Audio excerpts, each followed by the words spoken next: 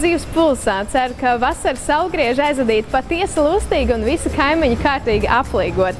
Savukārt, lai gatavotos jau nākamajiem godiem, šajā redzījumā dosimies uz Smiltens pusi, lai iepazītos ar vienu no gardākajiem un simboliski spēcīgākajiem latviešu ēdieniem - pašcepta maize. Kā tā top lauka mājās Donas, kur tapus arī maizes darbnīca, pastāstīs īstena latviešu saimniece Ilze Briede. Viss sākot no mīklas rūkšanas aprā, beidzot ar kukulīšu veidošanu uz kļavu lapām un cepšanu maizes krāsnī. Pie Donu Ilzes mācīties maizes cepšanas tradīcijas brauc no tuvām un tālām Latvijas pilsētām un pat ārzemēm. Šodien viņas omulīgajā virtuvē viesosimies arī mēs.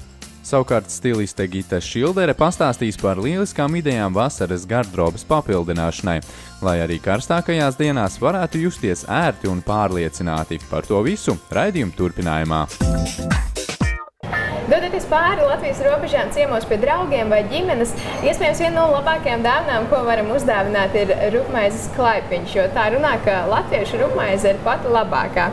Nu, Ils, kā tev liekas, kā maizes cepējai, kas tad ir tas, kas padara to latviešu maizi tik gardu?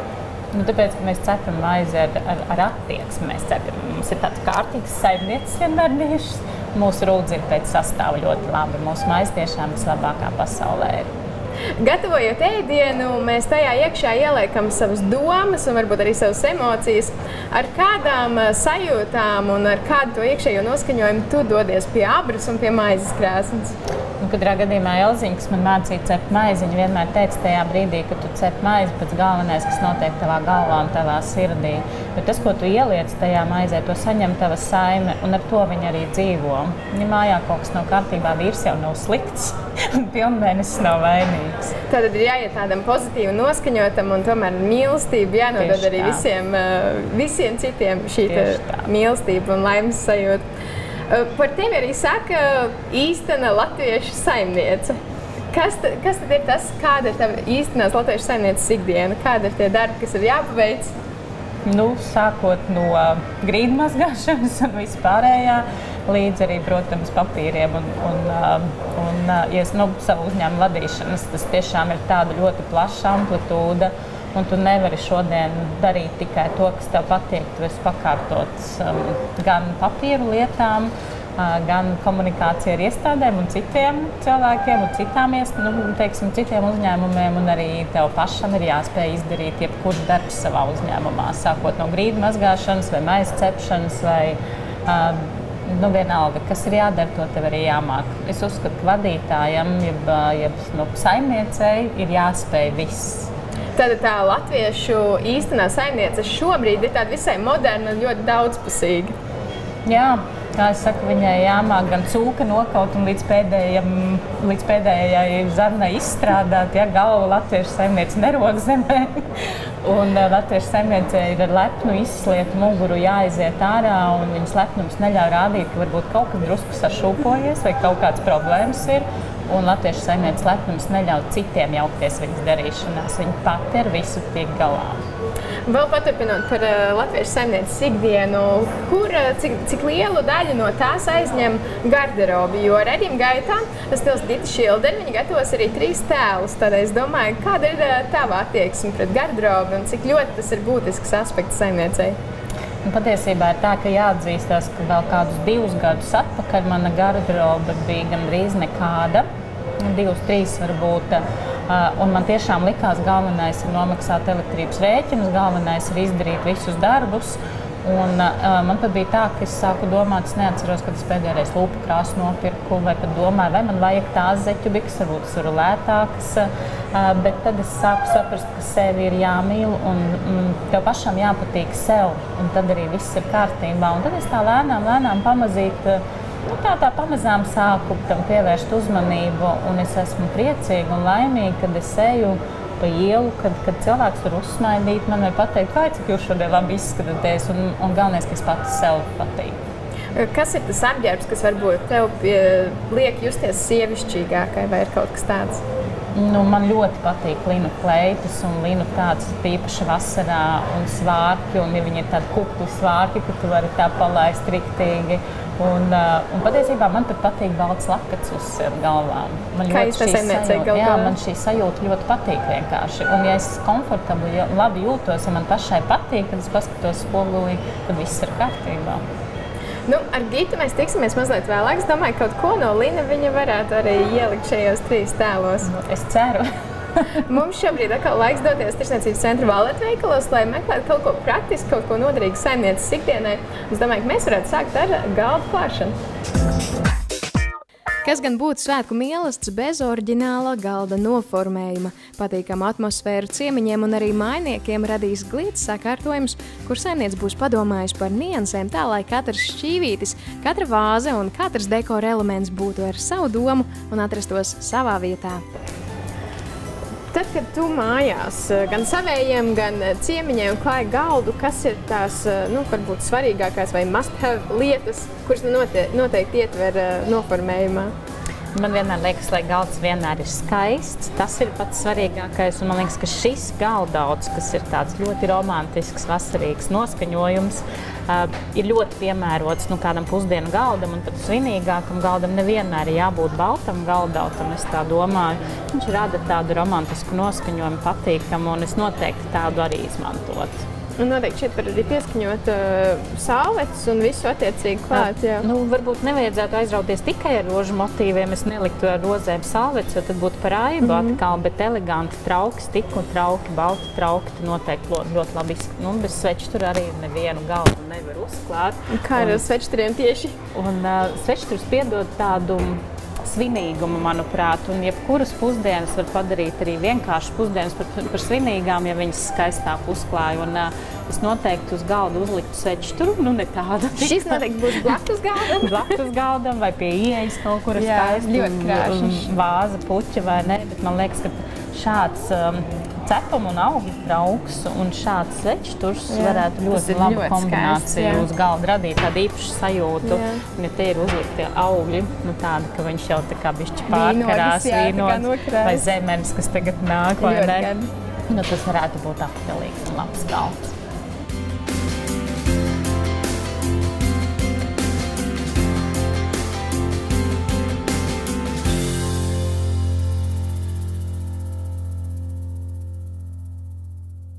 Droši vien pie tevis, kā pie saimnieces, diezgan bieži brauc arī visa ģimene. Un, un kādreiz arī sanāk, ka viņiem palikt nakti gal galā, vai ne? Nu, ciemiņi diezgan bieži mums brauc, un arī man pašai vienmēr liekas, ka tā gūtceļa ir tomēr svarīga. Jo tajā brīdī, kad tu aizēji un ievalies tajā gūtā, tad gribas, lai tāds patīkama sajūta apkārt un lai ir skaists. Tāds uh, mīļuma kokoniņš. tā, jo tu pavadi vienu lielu daļu un ir svarīgi tajā brīdī tiešām sasmelties spēkus nākošai dienai. Un, un es pat mēģinu vienmēr, ja man ir gluds pārklājs, tur, teiksim, ziemas laikā ir tāds, man bija tāds elektrozi zaļganis zils, mm -hmm. tad man bija arī sveci tāda pati istabā, mm -hmm. tad es kaut kādu vēl sīkumiņu nolieku blakus, un tad es ienākot savā istabā, tad tā ir mana tāda saliņa, kur tad es atgūstu spēkus.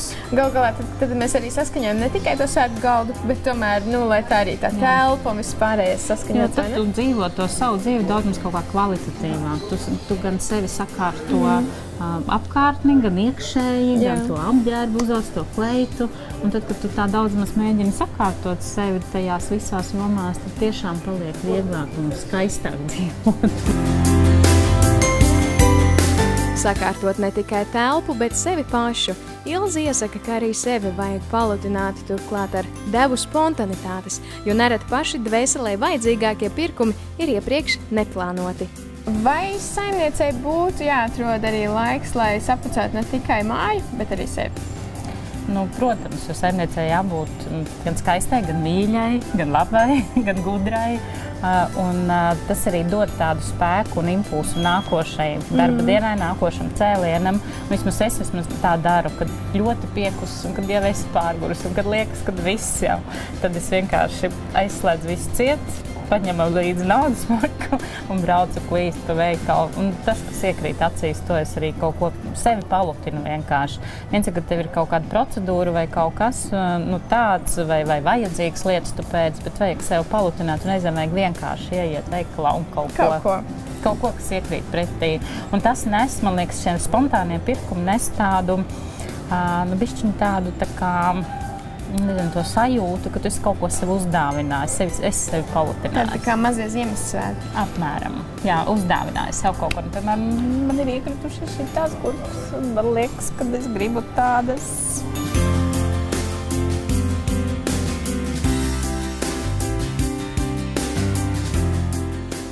Apavi atrasti, atliek vien tērps. Ja neizdodas atrast tieši to, ko sirds kāro, laba alternatīva ir doties uz audumu veikalu un tērpu izstrādāt kopā ar šuvēju. Laikam jau auduma veikalā vienmēr var ļauties eksperimentiem un jaunām idejām, vai ne? Mm. Bet tam var ļauties, ja tev ir labi šuvēji. Kā ir tev ar šuvēju, vai tev ir Man savu ir šuvēju? fantastiski šuvēji. nu, jau kādus divus gadus man ir Anniņa, un Anniņa saprot mani, es saprotu viņu, un viņa man tādus tērpus šoja, ka tiešām. Un galvenais, ka tas ir lētāk nekā nopirkt smalkā veikalā. Bet droši vien ir svarīgi, lai uh, cilvēks un šuvēji būtu uz viena viļņa, jo Jā. tieši tad rodas tās vislabākās idejas. Jā, tad mēs tad saprotam viens otru, jo tu paļaujies uz to šuvēju, un viņš tev uzšauja. Nu, tā kā viņš uztver pasauli, tad, ja tu uztver tāpat, tad jums sanāk labs tērps kopā. Un tad es ieraudzīju šīs magonas, un to, es ieraudzīju sākumā to balto, un es domāju, tādu vasarīgu baltu kleitu vajadzētu skaistu, romantisku. Bet, lai būtu kaut kāds akcents, es pieļauju, ka es tur magonas gribētu. Bet Jā. es pieļauju, ka Anniņa man teikt, lietas tās magonas nost vēl Un ejam ar smeģģīnes baltu, ārā. Jā, un es pieļauju, ka es paklausītu Anniņu šajā jautājumā. Jāklausa Anniņai, tas pavisam Jā. noteikti jāklausa savam šuvējam. Gal Jā. galā. Jā, tāpat kā automehāniķim. Tieši tā.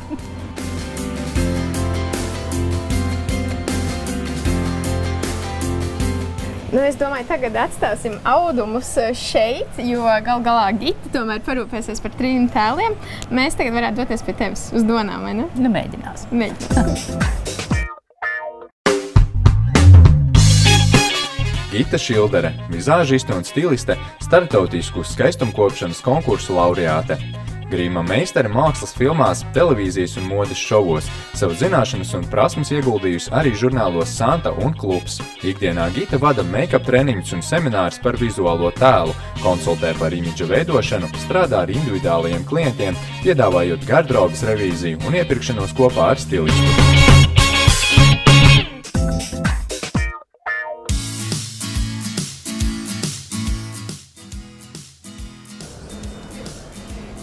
Vasara ir laiks, kad mēs cenšamies visi pasauļoties, lai dāmām un arī kungiem, kuriem nesanāk saulīt redzēt tik bieži, ieteikt izmantot paštonējošos krēmus.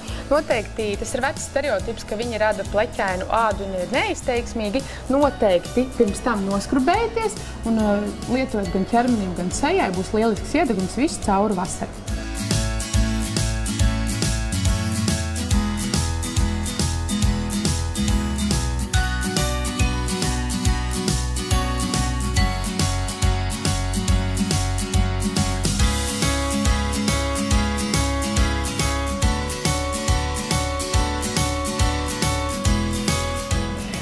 Vasara ir laiks, kad mēs noteikti varam izvēlēties krāsainus apavus. Noteikti iesaku jums to darīt.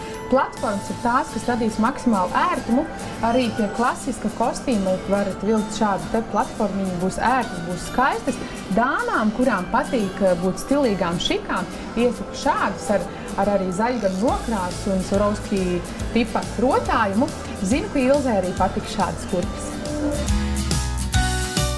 Kādi apavi papildinās trīs tēlus, un vai Gita tajos iekļaus arī kādu apģērbu no Lina, ko iecienījusi Ilze, uzzināsim nedaudz vēlāk, jo šobrīd mērosim ceļu uz smiltenes pusi, uz Donām.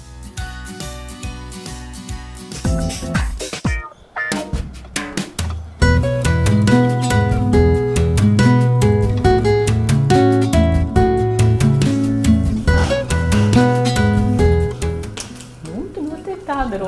saimnie- saimniekošana. ja man kāds desmit gadus atpakaļ teiktu, ka es ar maizi cepšanu naudu pelnīšu, es teiktu, ka nav rīktīgi ar galvu tam cilvēkam.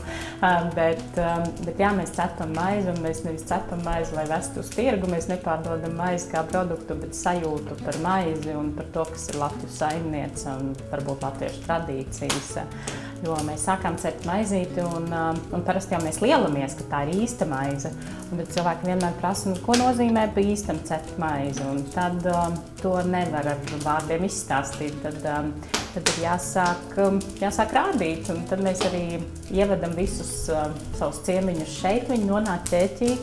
Un viņi sajūt to īpašo sajūtu, ko nozīmē, jo kas ir krāsnes, kas ir mūrīts, um, mūsu modernās homas, kuras dzīvo nu, tādos dzīvokļos, un tādos vairs mazbērni nevar izbaudīt. Līdz ar to vecāki cilvēki nāk pēc sajūtām, pēc bērnības atmiņām, un, un jaunāki cilvēki nāk pēc piedzīvojuma, gandrīz vai jāsaka, tāpēc, kad kas ir īsta krāsnes un tā krāsnes tāda rakšķeršana un dzīvīgums un mājīgums, nu, to nevar neviens dators radīt. Kad man prasa, kāda ir īsta Latvijas saimniece, nu, tad man liekas, ka etalons saimnieces ir tāds tāda gruntīgi, kārtīgs sievas, kalu vāveres ir nedara, jo tām nav ne spēka, ne cūku nokaut. Ne. Un otrs ir, kad, kad viņa ir gana tāda dzīves gudra arī saimniece, kura ne tikai māca gatavot ēst un šūt un adīt un tamborēt, bet kura arī atrod īstos vārdus īstajā brīdī. Un, kā es saku, ja nokaitina, tad var arī ar airiku muti dabūt. Principā tas teiciens maizes darbs šeit iegūst pavisam citu nozīmi. Tieši tā, jo Nu, maizi mēs ēdam vienmēr. Vai trekni laiki, vai, vai netrekni laiki, vai ir pārmaiņu laiki, vai ir nabadzīgāki laiki. Un maize jau ir tāds pamata pamats pilnīgi visam. Un, un vecāki cilvēki saka, ja tev ir maize un malka mājās, viss ar tevi ir kārtībā, nav ko čīkstēt. un, ja tev ir, un kā es saku, nu, jauniem puišiem ir jāņem ne tikai smuka sieva ar garām kājām, bet arī laba saimniece. Un kādreiz jau viens no tādiem pašiem galvenajiem rādītājiem par to saimnieci vai būs gana laba bija, vai viņi māk maizi uzcept. Nu, tad, kad gatavoja maltīti godiem, nu, vai tie bija salgrieži, piemēram, Jāņa vai Pēteri, vai kāda jubileja, vai, vai, vai kāzu godi, vai ne, tad, tad visus ēdienus taisīja īpaši un taisīja apaļas formas centās gatavot, jo saules simbolu mēģināja dzīvības simbolu visur uh, iekšā likt. Un, uh, Un, un, un tas, um, tad, tad uh, kūkas bija apaļas, kliņģi ir apaļi, desas loņas sasēja apaļus uz godiem un lika uz galda, un arī maizi cepa apaļu. Un saka, jo apaļāks, jo labāks. un, um, un, un, un tad ikdienā cepa garenos, uh, garenos saimnes kukuļus Un tā kukuļa izmērs bija apmēram nu, tāds standarts, 3 kg, tā kā jaundzimis bērns, 3 kg un 50 cm garš apmēram. Un savukārt, tad, kad nu, godiem gatavojās, tad bija goda kukuļi, jeb apaļie kukuļi. Tas bija ēdiena gatavošana uz godiem. Tas bija gandrīz tā kā rituāls. Tas nebija tikai tāpat kā mums ir uz, uz svētkiem rituāli dejas un attīrīšanās dejas un visādas, vai ne? Bet tieši tāpat arī saimnieces pasaulē, saimnieces virtuvē ir rituāls, jo viņai, viņai ir arī savas darīšanas un jātiek no ļaunā vaļā un jāieliek labais savai saimē, jādod un caur ēdienu mēs tomēr ļoti daudz ko saņemam. Un tad glāstīt pret sauli, ja pret pulksteniem latviski mēs teiktu pretī rītiem. Mēs tagad glāstam pret rītiem, pret vakariem. Un tad, kad glāsta pret sauli, tad savelk visu slikto, kas ap mums ir noticies un ieglāsta vakardienā. Vai cik laba vakardiena bija, viņa nekad atpakaļ neatnāks, un vai tas sliktais paliek pagātnē, lai netraucē mums šodien dzīvot un rīt. Un tas ir tāds, nu, kad saimniece pie tā viss piedomāja. Un tad, kad uzliek uz galda, tad saglāsta pasaulē, iegriež saules enerģijā vai pretī vakariem mēs glāstam. Un tad ieliek rievas. Jaunas meitas liek tik daudz rievas, cik bērnus gribētu. Tā var zīmēt, kad izņem ārā, tad saskaita, cik ir palikušas rievas. Un uz pirmā kukuļa, jau uz goda kukuļiem lika arī mūsu īpašās zīmes dažādas. Jo nu, tās zīmes, paldies Dievam, mēs jau zinām un saprotam. kā viņas jālieto. Bet uz pirmā kukuļa vienmēr saimniece lika māras krustu, jo māra ir nu, dieviete, kas saimniecei palīdza, lai mājā viss labticībā, saticībā, pārticībā būtu. Un es arī gribu, lai man viss ir kārtībā. Un tad pirmā līnija ir ūdens līnija, un otra ir uguns, jeb saules līnija. Šīs ir divas vissvarīgākās lietas, lai mēs spētu dzīvot vispār. Tad liek dubult krustu un klusībā saimniece saka, lai pietiek saimei, lai pietiek bērniem, lai pietiek nabagiem un lai pietiek mums pašiem. Un svarīgi ir nevis daudz naudas vai mantas, bet lai man pietiek tik, cik man vajag daudz naudas grūti gulēt, bail, ka nozaks. un varbūt, kad šī tradīcija arī mums drusciņi izzūd, jo mēs maz varbūt gatavojam kopā ar vedeklām, ar mazmeitām, ar visu. Un man liekas, ka nekas skaistāks nevar būt kā gatavojoties kādiem godiem, ka visas sievas sanāk ķēķī un paķelo un parunā un pavelk vienu otru uz zoba un, un pagatavo, un tas rada tādu gan gudrības nodošanu vienam otru, viens no otra, gan arī, gan arī nu, to pareizo sajūtu ģimenē un arī tādu komandas sajūtu varbūt. Man liekas, ka tas ļoti, ļoti ir vajadzīgs.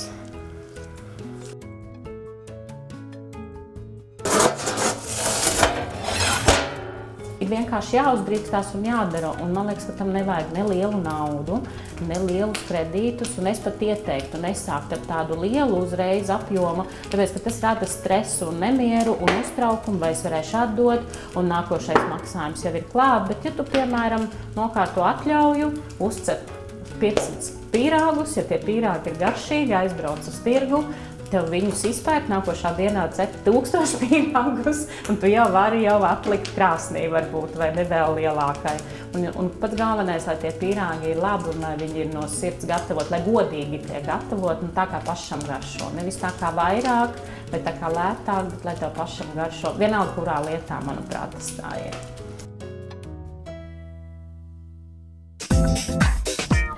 Kamēr maize krāsniņā cepas, mēs esam atpakaļ tirzniecības centra valeta telpās un tūlīt pat jau ķersimies arī pie trim tēliem. Nu, ar Latvijas vasarām mēdz būt tā dīvaini, tās var būt arī visai mānīgas laikapstākļos, bet varbūt mēs tomēr varam sagaidīt kādu pludmales tērpu arī šoreiz. Jā, noteikti būs pludmales tērps, būs skaisti, vasarīgi, viegli. Noteikti kaut kas patīkams un sievišķīgs. Super, tad negaidām mirkli un ķeramies klāt. Ilza, šodien sāksim ar tērpu, kas ir paredzēts darbam. Varbūt citiem uzmetot pirmo acu liekas, eh, vai tiešām darba tērps, bet patiesībā ļoti klasiskas vērtības, taisnas bikses zilā krāsā, arī blūza, varbūt visā interesants ir šis te tilveidīgais volāniņš, kas piedaudz nedaudz piešķir māksliniecisku tādu noskaņu, un uh, oranžīgie persiju krāsas akcenti, kas lieliski, pie, lieliski piestāv tev, arī zilajai krāsai. Bet kā tev pašai patīk? Nu, man liekas, es tik smuku uz darbu neesmu gājusi vēl nekad. Bet man patīk, man pārsteidz tas, ka tu man tādas bikses esi uzvilkusi. man patīk, es nekad nebūtu kā darba darbu šādu uztvērusi, bet man liekas, ka ir labs priekšvasaras. Man, liek, man vispār kopumā patīk. Jā, super. Man prieks. Skatāmies otro darbu.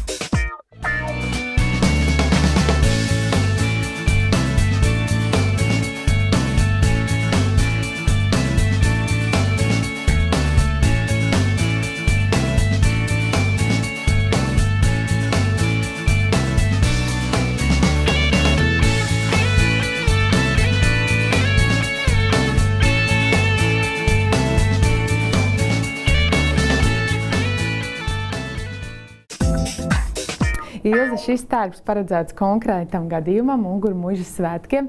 Zinu, ka tev arī patīk līnijas, un tas ir varbūt nerakstīts dreskots. Līdz ar to arī uh, gara lina kleita ļoti skaistos, maigos toņos. Interesantais tas, ka viņai ir pagarināta aizmugure, līdz ar to padara, padara šo tērpu par tādu nelielu odziņu, un arī uh, izteiksmīgā kakla rots saskana ar kurpēm. Vispār maksimāli ērti apaulot, varētu staigāt pa zālī, skriet un iet un baudīt mūziku. Kā tu pati pati sajūties? Man liekas, ka es labi jutīšos tur te koncertā. Varēs dejot. Tas slēpi var palaist. Jā, ir ērts. Man liekas, ka gana labs un elegants, jo tur tiešām dāmas nāk tik sapucējušās, un tu vienmēr domā, cik viņai skaisti kleita. Nu, tad šogad tas ieši skaisti par tiem sēkiem. Man prieks.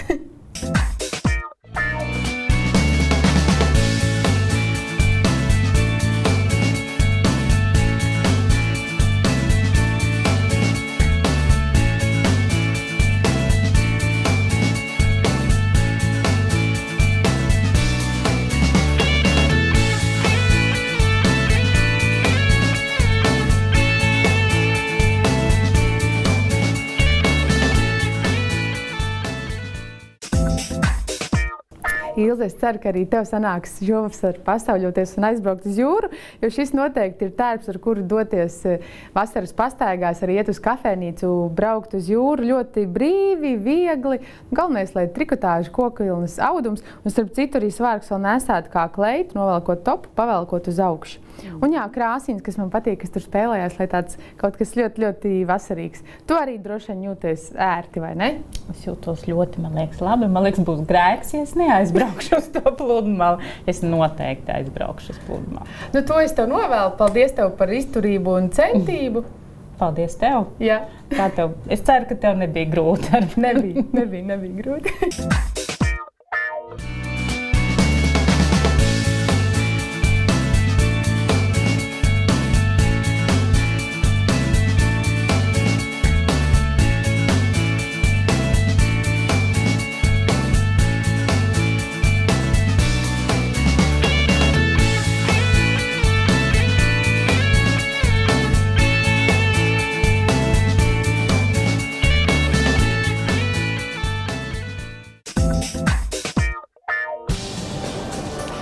Vēl uz dāvanu maisiņš ir papildināts, un tagad laiks to nodot gādīgās rokās.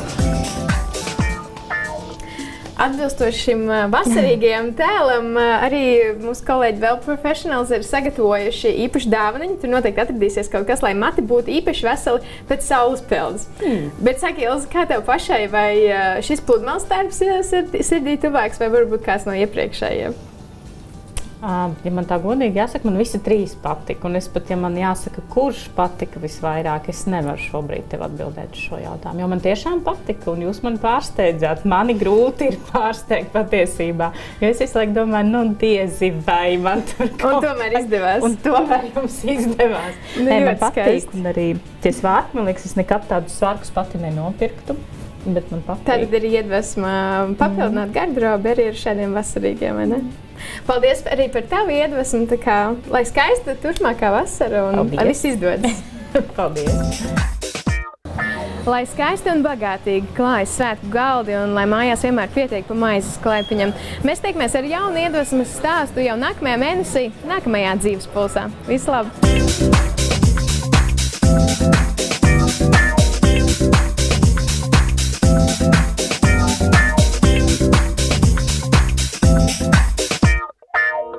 Raidījumu atbalsta Vela Professionals.